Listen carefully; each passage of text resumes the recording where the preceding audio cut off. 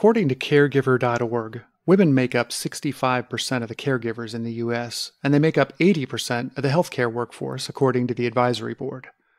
Yet in Rock Health's 2017 Women in Healthcare report, they filled only 22% of the board seats in Fortune 500 healthcare companies. And even now, the 2019 Fortune 500 report lists only one female CEO of a Fortune 500 healthcare company, Anthem's Gail Boudreaux.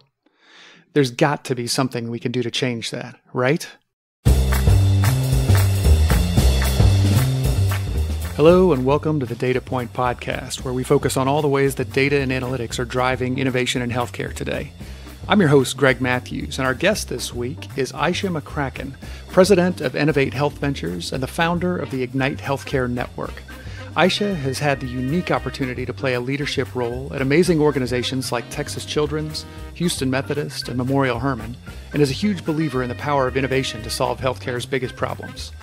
This year, she'll also be hosting the third annual Ignite Fire Pitch, an incredible opportunity for women run startups to partner with world class healthcare companies to fine tune their offering directly with their potential customers. Applications are due by June 15th at ignitehealthcare.org, so don't miss this opportunity to participate. Ayse even has some pro tips for applicants at the end of our interview, so make sure you listen all the way to the end. I hope you enjoy this conversation with Ayse McCracken as much as I did. Ayse, thanks so much for being with us on Data Point. Thanks for having me, Greg. It is uh, good to be here together. You and I met each other several years ago when you were in your uh, Memorial Hermann Medical Group days, but a lot has uh, a lot has changed since then, and I'm really excited about diving into it with you. Um, I mentioned in our introduction uh, that we're going to talk a little bit specifically about the Ignite Healthcare Fire Pitch competition that's coming up. But before we do that, I would love for our listeners to get a little bit of a sense of who you are and how you came to be so passionate about innovation and technology in healthcare and particularly women's role uh, in innovation and technology for healthcare. Can you give us a little bit of a, of, of a background? Well, I'd be delighted to. Thank you. Um, I've had um, a long and really great career um, working in healthcare. Um, I had a grandfather. I'm Turkish. I had a grandfather who who was a surgeon, so I was always sort of drawn to healthcare as um, as a profession. However, I became an accountant coming out of college and had the opportunity to work for Arthur Andersen, where my clients were hospitals. Mm. So that opened the door for an accountant to have a, an incredible career um, working in healthcare. Um, I worked uh, originally uh, or initially for um, companies that were publicly traded and um, were owners of hospitals and got involved with acquisitions and growth related strategies, and then started getting calls um, from uh, young venture backed companies that were doing new things in healthcare. So you got to think this is 1980s. I'm taking okay. you back a while. Okay. And um, but what I developed was a real interest in growth and innovation and continued improvement in an industry that I found fascinating and, and, and appealed to me um, from both the human perspective of doing good for people, at mm-hmm. the same time from a business perspective of how um, the business models could change and continue to grow. Mm-hmm. Um, so that was sort of the entry into healthcare. But when I came to work for Arthur Andersen in 1981, um, it was a big deal that there were two female partners in all of Arthur Andersen worldwide. So, um, right? So things were a little different, and and um, it was it was a time where you know we were um, still wearing navy suits, and and um, there was a moment where we had to wear sort of didn't have to, but there were bow ties that sort of mocked men's ties, I think, and uh-huh. so it was quite an evolution in terms of of um, females in the workforce, and where we are today is remarkable. I mean, there, there's still room for continued um, evolution and promotion of uh, women's advancement um, professionally but I've seen a lot in in the course of my career. So when I married, um, my professional involvement in healthcare and and seeing the opportunities, the business opportunities there, with the number of women who are in healthcare, so 80% of healthcare workers are women, and wow. 40% of healthcare executives are women. Okay. And if you take that 40% of executives and just look at the top CEOs of healthcare organizations, that reduces, I don't know the fraction, but I could tell you, you know, in Houston, in all the healthcare systems that are here, hospital systems, there isn't a single female CEO. Wow. A lot of, yeah. So you know, you work with a lot of really bright women who have a lot of, of capability, but there's still something missing in terms of getting to those top jobs. So um, that's sort of what brought my interest in in um, innovation. I've always had a career that has um, been focused around building companies. I built new companies in health systems, um, the companies that employed uh, physicians in the hospital organizations were mm-hmm. the area where I spent the bulk of my career. And um, yet, you know, uh, being able to take that innovation now to digital um, technology and continuing to advance that, and with Ignite, being able to even focus more narrowly on bringing together women to support the advancement of uh, women in the healthcare industry. And with our um, fire pitch, which I'm sure we'll talk about a little later, um, fire pitch is a pitch event that showcases the best of women-led technologies. So there's a there's a natural innovation, uh, natural um, evolution that sort of happened over the course of my 38 year career. oh my goodness. Well, but who's counting? All, I, I, need to tell you, I can completely relate to the Arthur Andersen experience. I actually started with Andersen, although on the consulting side, in 1990 when I got out of college. And so I was a, a few years behind you, but it was still lots of dark suits and uh, yep. you know for the women the the bows and so forth it was a uh, uh, not the free and easy place that I'm sure Accenture is today. Um, in any case, I'm really curious through the course of your career, you started in roles that, you know, you mentioned you started, had an accounting degree, you went to work for a management consulting firm that had an audit and tax focus. It, did you at any point sort of cross the Rubicon to the point where you're thinking outside the finances and thinking about the clinical work that was happening and the patient experience and uh, the impact of technology on those aspects of care um, or you know how do you see that balance for you as an executive yeah i think my finance background um, i always thought i would be sort of a CFO and and and more in a uh, a finance lane. But I've been CFO, COO, and CEO. So that's kind of an unusual, um, you know, uh, record of having all three of those roles. Yeah. And uh, so I I had gone to um, work for a company in the 90s that was buying ophthalmology practices. It was a okay. venture backed company. And so I got to work um, inside these small practices with physicians, with their staff, and it was probably more hands on than I had um, experienced in the past. Mm. And that company um, moved its headquarters from Houston to um, Tennessee, which is where um, the investors were. And so I had an opportunity to consult for a period of time. Mm-hmm. And I um, did physician practice management consulting, um, helping practices improve their performance and setting up physicians in um, solo practice. When they were being set up in solo practice, that's kind of changed. Right. Um, but I ended up being asked by um, some colleagues that I'd worked with at Price Waterhouse to help them write a business plan. Um, they were at Texas Children's and Texas Children's wanted to um, evaluate the feasibility of starting a new company, a subsidiary, that would employ general pediatricians. Okay. And they knew that I had been working in the physician space, so they asked me to help um, with that business plan. And so I did do that, and and um, the hospital um, approved the business plan and put away monies um, requested to get that underway.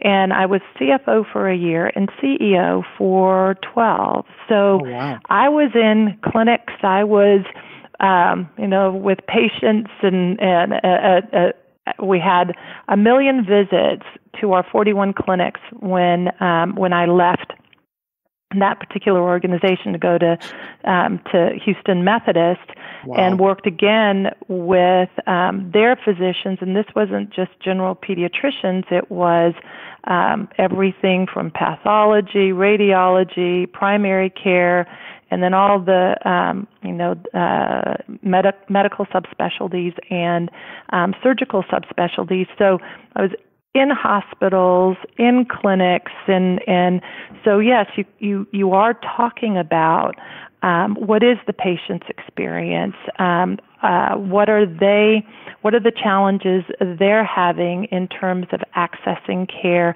How long do families have to wait when their kids are sick to get an appointment? Mm. Um, what happens after hours? Um, so all those things that patients are experiencing so that they are able to get access to the care that they need. Um, what is our workforce experiencing, and and what yeah. is the um, you know uh, retention of our uh, of our staff and of the nurses and teams that are there to support the families and and um, and provide the care that's essential.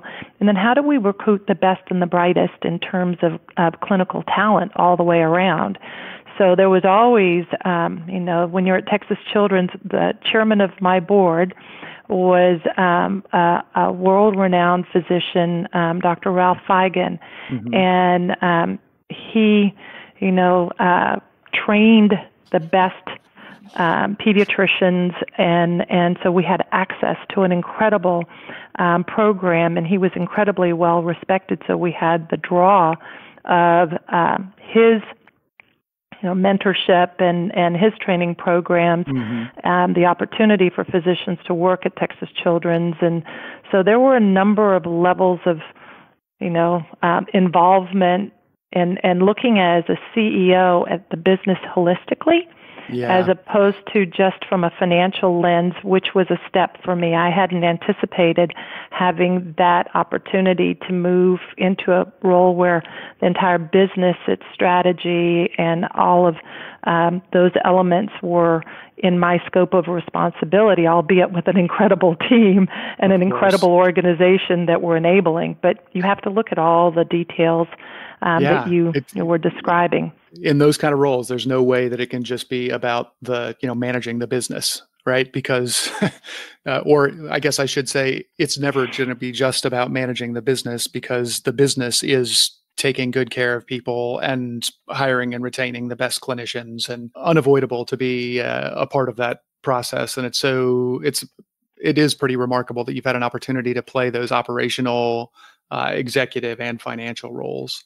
Um, one of the things that I've been curious about through the course of your career, because we've talked about um, the fact that your focus now is really on innovation, especially technology driven innovation.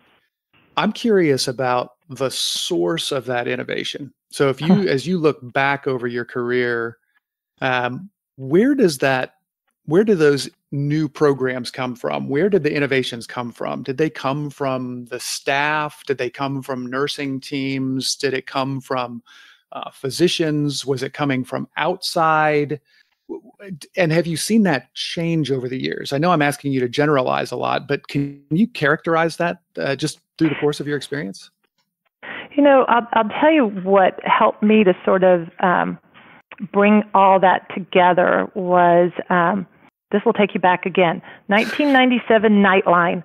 Um, okay. It was a, a segment on IDEO and how um, they sort of went through their um, design thinking process. Mm-hmm. And this is where the whole deep dive, um, you know, terminology I think became so um, uh, widely used because I think the deep dive actually originated with them. It was one of their processes.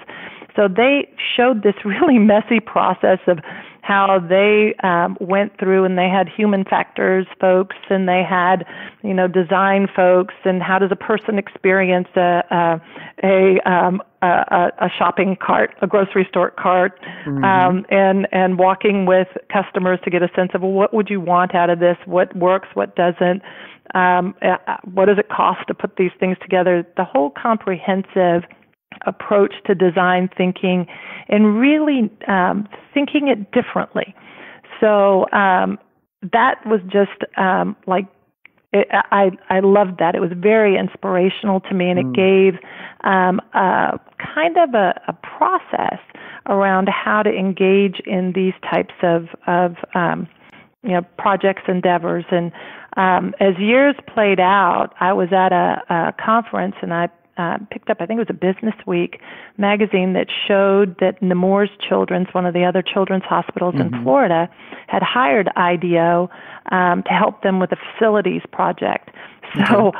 I ended up calling IDEO, and um, we were looking at redesigning the way pediatric care um, could be delivered. We were going to look at facilities. I could have built other um, practices that look similar to a model that, you know, not particularly new and innovative, um, but by virtue of hiring them, um, they engaged our physicians, our nurses, our um, patients, and it was a fascinating process. We ultimately were invited to present that um, project at Mayo Clinic's um, innovation, the opening of their innovation center some years later. So, innovation is, to me, it's it's listening um, and seeing where ideas, because ideas come from everywhere. They're not yeah. they're not necessarily my ideas, and sometimes some of the wildest sounding things become the most interesting things.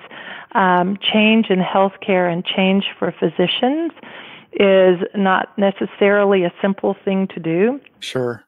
So engaging um, people from you know all aspects of of um, of the organization who have an interest in, in this and whose lives would be impacted by these sorts of things were um, ways that I navigated change. And sometimes I would have people who were maybe early adopters along mm. with some of those that might have been laggards because you want to have everyone's voice right. I- involved to understand how you can um, bring in the change into an organization in a way that um, is is sustainable.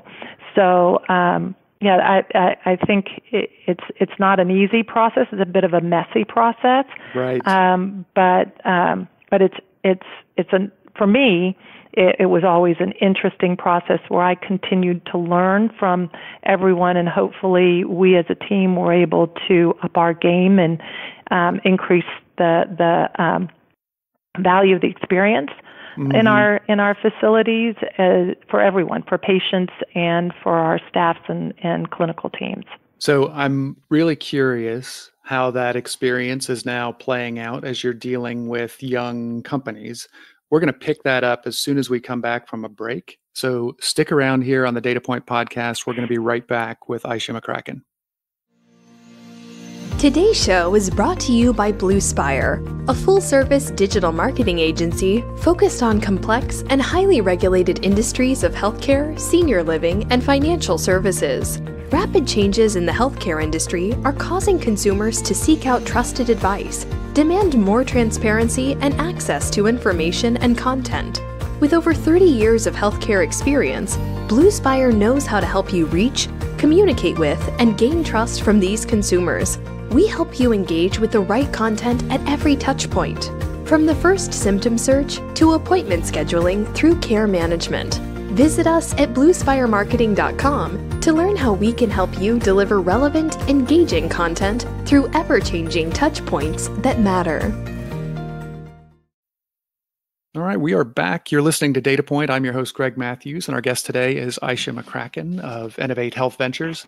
Ayse, when we went into the break, you were talking about what sounded to me as kind of like, kind of an aha experience in terms of really applying uh, a 360 degree view using design thinking to innovate better experiences and outcomes in, in healthcare. And I know, you know, having experienced sort of an, a similar aha moment when I joined the Humana innovation team in the in the mid 2000s, it's a it is a in, an incredibly freeing and liberating thing. I, I'm really curious now um, because you not too long ago formed your own company called eNNOVATE Health Ventures, and I'm curious about how your experience in that innovation process has shaped the way that you're now counseling um, uh, companies on you know, how to bring new products to market. And uh, if you can, give us a little bit of a translation into you know how eNNOVATE came to be and whether those things are related. Yeah, so eNNOVATE came to be following a um, stint back in business school.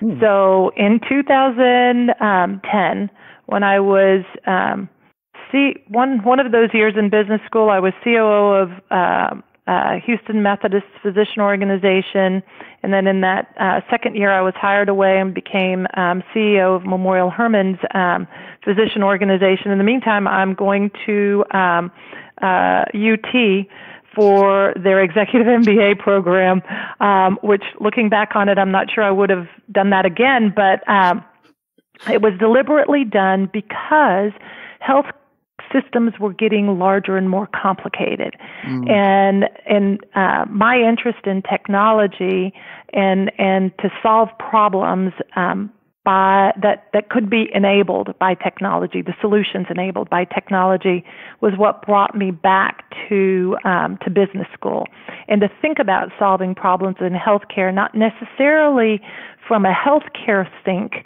but viewing problem solving maybe from lessons from other industries. Sure. So that led to um, stepping out and actually beginning some consulting projects with startups to really start to get into that space and, and understand their world, um, knowing the health um, system world and seeing where these things from a healthcare industry perspective begin to line up, mm. um, if that makes sense.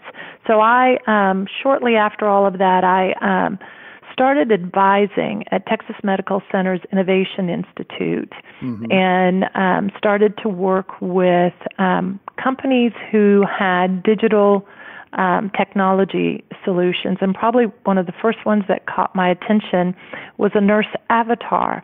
And um, who would go home with patients with chronic illnesses, right? So, if um, there was a patient in a hospital who um, was ha- was diagnosed with um, congestive heart failure. Mm-hmm. After the episode um, in the hospital, um, they leave the hospital and who manages that patient who's able to to sort of track and make sure that that patient's doing okay and that something isn't starting to slide that then causes a readmission or an emer- emergency room episode if if somehow there was some tracking remote monitoring some tracking um, while they're not in the four walls of a clinic or a hospital mm-hmm. that could keep the patients healthier and and and um, and and get better outcomes and not use healthcare resources unnecessarily. So this um, avatar named Molly had um, protocols and would collect certain information. It was a it was a very interesting tool, and and I'd worked with a company that had a care management capability, but it was a lot of nurses trying to reach patients by phone, and you know if they got the patient that's great, but is it a patient who really needed their time or not? It was highly inefficient. So sure. there was, you could see where there was a need for this. Um, the company uh, with this this product, this technology, bright um, uh, innovators, um, computer science um, folks, natural language processing. I mean, a lot of really great um, technical skills. Um, their ability to take their product and figure out how it got hardwired into a health system was where um, things needed to be bridged. And I'm sharing this as an example because I think there are a lot of really interesting technology solutions um, from people who haven't um, lived in the healthcare environment. Mm-hmm. So something that looks like it could be like a Microsoft. You think you can just plug it in and, and it's good to go in a Microsoft Office.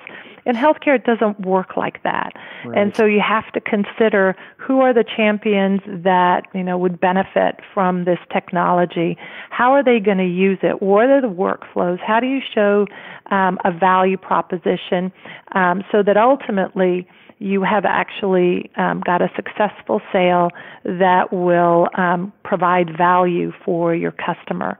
So that that piece of working with um, with startups, I love the innovation, and they think about things. They being companies that aren't constrained by a 30-something year in healthcare or uh, career in healthcare. They're thinking, um, you know, in in in unconstrained ways of, mm-hmm. of solving problems.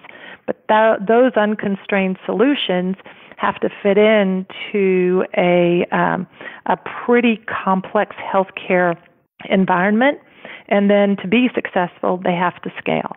So those are the types of of, of um, areas where I feel like my experience can add value to young uh, uh, companies who are trying to solve some of these um, very challenging problems in the health oh, system. absolutely. And i'm sure yeah i'm sure they can benefit tremendously from your experience. And of course I, i'm sure for you it's got to be tremendously rewarding to see you know people who are unafraid of tackling these tough problems um, probably sometimes because they don't know exactly how tough they are. But uh, in any case it is it is a really inspiring thing uh, to work with folks who are who are doing something new i had promised up front that we were going to talk a little bit about the Ignite Healthcare Network, and it's it's very exciting because I know you have your uh, is it the third annual uh, fire pitch competition coming up?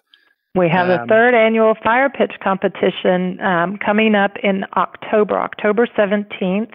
That event is a culmination of a program um, that is already um, underway soliciting um, the best and the brightest of women led um, uh, digital health uh, solutions startups. Mm-hmm. And by women led, um, that's meant to have a female founder, co founder, a female who has um, a, a C level uh, position and has equity of 5%. Um, and so they have a significant voice at the table. Mm-hmm. Um, a lot of that comes from you know this idea of how do we um, give women a hand up if they're 40 if they're 80% of the women in healthcare are, are uh, workers in healthcare are women how do we get more women into um, these senior positions how do we advance them in terms of of um, starting companies and so some of that motivation. Um, the program solicits applic- uh, applicants now, um, closing applications June 15th, at which point um, companies will be reviewed by their potential customers. So we've created a really unique program where we have um, 11 organizations um, that include health systems like Texas Children's Hospital, like mm-hmm. Memorial mm-hmm. Hermann, um, Houston Methodist. We have um, the Menninger Clinic, which is one of the country's leading psychiatric facilities. Yeah. We have um, Gallagher, um, which is one of the country's leading employer benefits consultancies. Mm-hmm. Um, we've got Humana um, joining us. We have um, the new medical college at University of Houston that's focused on um, transforming the care delivery model for um, primary care and, and training the primary care physicians of the future. Um, so we've got some incredible partners. We've got more as well, but it's all on our website. Sure. Our partners represent the customers of these innovate, innovative startups. And they will look through our pool of applicants and say, I want to work closely with these companies. And uh-huh. they'll select. So they there's an alignment there because customers are choosing the um, uh, startups with solutions that they view to be most interesting and most valuable. Interesting. Um, so this isn't just a panel of sort of quote unquote impartial judges that are saying, ah, that looks interesting. These are people who actually are looking for solutions to problems. Totally. And when I um, when we came up with this uh, uh, program, um, it was with feedback from um, these customers, and and the the CIO of, of Texas Children's is um, a woman, Myra Davis. She's an Ignite member. Mm-hmm. The CIO of Memorial Hermann is um, Amanda Hamill. She's an Ignite member. The um, uh, Executive Vice President, Chief Innovation Officer at at Houston Methodist is Roberta Schwartz. She's an Ignite member. So we have our members who are in these um, positions where innovation matters to their organizations, yeah. and they have um, the the strategic um, eye for seeing what's going to bring value into their organizations. And I said to them, "Are there specific problems you want us to, you know, search for um, solutions?" And they said, "No, we don't want to see." Uh, we don't want you to search for anything specific. What we want to see is what's innovative. What are we going to, if we look for something specific, we may miss something out there that could be really new and unique. So yeah. um, that's the that's the starting point for um, fire pitch.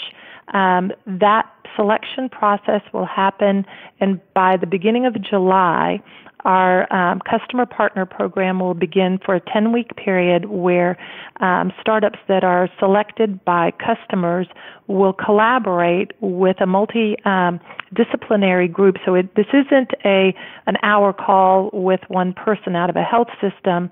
Um, the health systems want to see early stage companies and want to collaborate. So this mm-hmm. is, you know, virtual. Um, it's in person. We have um, companies coming to us from Australia, um, from the UK. Um, we're now starting to look um, possibly in, in Israel. So, along with all the the um, work that's being done in the U.S., we're also looking for talent globally and want to arrange for these interactions so that they can happen virtually and and and um, both the startups and their customers can have the benefit of these um, collaborative opportunities. At the end of the 10 week period, there is um, an evaluation process, and, um, and the uh, startups will get feedback from the evaluation process. And those scoring highest from the evaluation become finalists and um, are invited to pitch live at the Houston, uh, at the Texas Medical Center. And it's a great event. We usually have I don't know, about 150 people who are um, systems um, uh, executives, who are investors, who are really interested in this space. Um, we intend to probably up that audience by including some um, young women in high schools um, so that they can see what oh, um, gr- you know what great uh, role models and um, see some opportunities, see themselves in some of these um, uh, entrepreneurs, female entrepreneurs. So um, at the end of the uh, of the event, we are now putting together prizes, um, but also investment opportunities. So we've got a $50,000 convertible note that'll be given by TMCX. Um, and then we've got two other investors um, that are each um, looking to um, ha- uh, give 25,000 in in convertible notes each. So we're hoping to get more prize money out there for the winners sure. of um, of the event. But it's it's hopefully a substantial event for the startups, for the customer partners that are um, participating, and then for investors to see better vetted companies um, that are pitching the night of the 17th, the, uh, uh, the night of the fire pitch event. And certainly the you know the financial reward is fantastic, but it sounds to me, you know, with most you know quote unquote you know startup competitions, that's all you get. But to have 10 weeks of interaction with you know some of the top folks uh, in the healthcare business it sounds like a real win-win both for the health systems and for the startups um, Greg, I think that's really what differentiates this experience, and and what we want to be known for is um, truly accelerating and giving opportunities to these startup companies um, by virtue of connecting them in a more um, deep way with their with their customers. Fantastic. So tell me, and I'm just going to fire a couple of quick questions for you because we're uh, nearing the end of our time. It's amazing how fast it goes. Um, number it one, it does go fast. You you referenced a couple of folks who are in senior level positions who are Ignite members. Who should be an Ignite member? You know, if you had a message for Ignite members out there, who who are they? So Ignite members are um, uh, women in C-suite roles um, in in companies that could be healthcare um, focused, you know, could be in health systems, um, provider organizations, payer organizations, venture backed companies that are in the healthcare um, services space. Um, but there are also interesting disruptors now, and I say disruptors, but transformational, right? Because mm. one of the missions for um, Ignite is that our members are are um, interested in influencing and, and shaping the future of healthcare, transforming healthcare going forward. So, Gallagher, as a consultancy, um, deals with employers having their voice. So, senior members, um, uh, folks that are in positions of influence in uh, matters that touch the healthcare industry, Walgreens, Walmart, um, Amazon. Um, we would love to to connect with companies like that that help to build this ecosystem of women who are in roles of, uh, of influence and have a passion for transforming healthcare. Fantastic. Okay. And then, final question for companies who are interested in learning more about applying for um, the, the fire pitch competition, you referenced the June 15th date. Um, the website is ignitehealthcare.org. What what else do uh, companies need to know about whether they should be applying? Um, I think they should look at our customer partner page. And when they're putting their application in, it goes in a product or a platform called Gust. It would be great for them to create an application that is targeting some of the customers that they want to be able to, to attract. Mm. So um, I think the way that they apply and looking at the customers, because they want to be selected by the customers that are participating in this. Um, I think that's the end goal, right? Got it. That, and that makes complete sense. And uh, sharing uh, secrets for success here on the Data Point podcast. I'm, I'm glad to get the uh, behind the curtain view. Um, well, that sounds fantastic. So I am first of all, so grateful to you, Ayse, for spending the time uh, sharing a little bit of your story with us. And I think the work that you're doing in health innovation, in health technology, and um, certainly advancing the roles of women, uh, it is incredibly powerful. And I hope that a lot of new uh, Ignite members uh, will will come uh, as a result of this work that you're doing. And I, I hope that you'll uh, have some really tremendous uh, applicants for this year's fire pitch. For the closing message, if you have a company out there that you think would be a good fit for fire pitch, definitely go to ignitehealthcare.org. Ayse, thank you so much. Greg, thank you for the opportunity. It's been a pleasure. Thanks so much for listening to the Data Point podcast. If you like what you've heard, please do rate, review, and share it with your social network. It means a lot. And if you have ideas for show topics or guests, please email them to me at greg at healthquant.health or send a direct message to at chimoose on Twitter. That's C H I M O O S E on Twitter. For more information about this show or any of the terrific healthcare podcasts in the Touchpoint Media Network, check them out at touchpoint.health. See you next time. This has been a Touchpoint Media production. To learn more about this show and others like it, please visit us online at touchpoint.health.